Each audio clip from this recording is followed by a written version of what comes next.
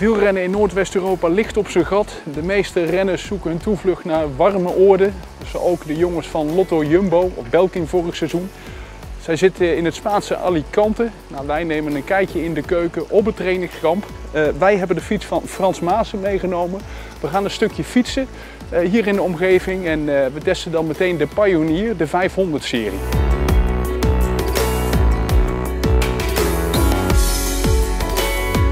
Nou Rick, het is de bedoeling dat je nu maximaal de berg op uh, gaat knallen. Mathieu Heijboer van, uh, van het team zal je straks uh, analyseren. Die zal vooral letten op de power output die je hebt en je balans tussen links en rechts pedaleren. Maar ook juist de richting die je opgaat.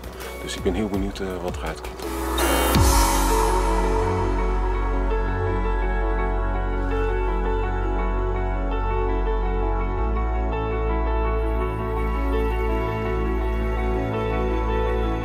Nou, we zijn lekker aan het klimmen jongens. Uh, in Spanje, Alicante, Cuevas de Calobre.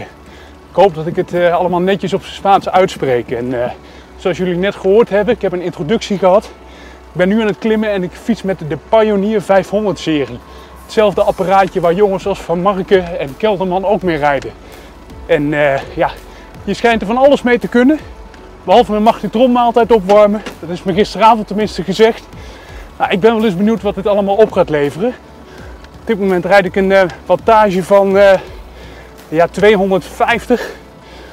Mag wel iets harder. Ik zie vooral dat uh, de linkerkrenk aan de linkerkant dat het daar toch wat lager is dan aan de rechterkant. Nou, ik ben ook wel eens benieuwd wat die analyse me op gaat leveren die ik vanmiddag ga krijgen van de ploegleiding. Nou, ik ga eerst maar eens lekker een stukje klimmen.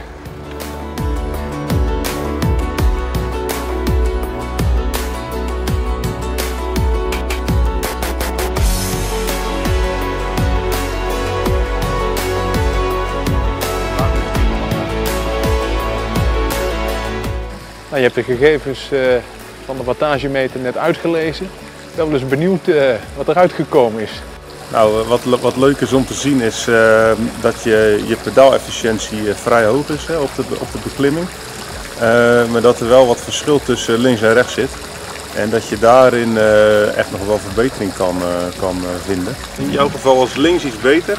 Je genereerde iets meer kracht met links. En daarnaast was de efficiëntie met links ook beter. En dat hield eigenlijk in dat je in de upstroke, dus in de opwaartse fase van de krenk, minder negatieve krachten genereerde. We zijn weer heel wat waardevolle informatie rijker. Uh, we pakken het er nog eventjes van. We genieten van de zon en gaan dan terug naar de lage landen. Waar het waarschijnlijk een stukje kouder is, maar we wel een goede basis kunnen leggen voor het volgende wielerseizoen.